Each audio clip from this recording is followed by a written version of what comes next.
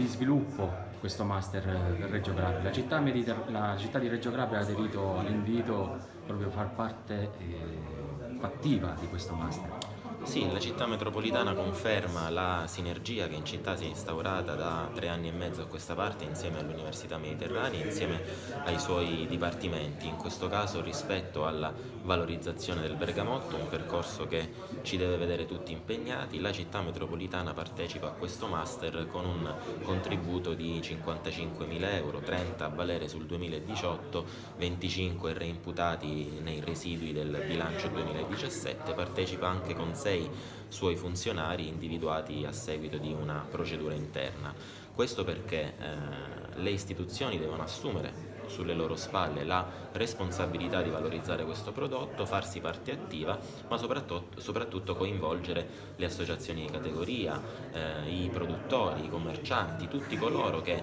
hanno qualcosa da dirci, hanno qualcosa da raccontare rispetto all'evoluzione di questo prezioso frutto, di questa unicità, di questa specificità della città di Reggio Calabria che devo dire quantomeno è ritornata sul dibattito politico eh, negli ultimi anni e questo naturalmente ci eh, inorgoglisce e ci fa capire che si sta riuscendo a creare una rete di contatti, una rete di rapporti, ma soprattutto che si sta valorizzando anche da un punto di vista di sviluppo economico quella che è una eccellenza, una peculiarità, un'unicità del nostro territorio.